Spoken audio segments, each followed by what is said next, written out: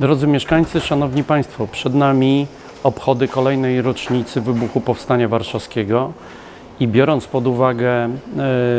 to, że e, te uroczystości zawsze u nas odbywają się przy Reducie e, przy ulicy Bartniczej, zapraszamy wszystkich o 10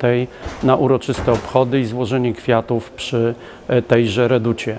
E, Ponadto w tym roku w sposób specjalny chcemy uhonorować jeszcze żyjącego e, naszego mieszkańca, żyjącego e, więźnia obozów Stutthof.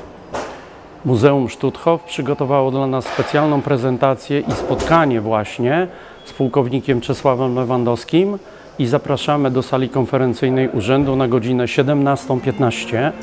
również 1 sierpnia. Niebo złote ci otworzę, w którym ciszy biała nić, jak ogromny dźwięków orzech, który pęknie, aby żyć zielonymi listeczkami, śpiewem jezior, zmierzchu graniem, aż ukaże jądro mleczne, ptasi świst, jeno wyje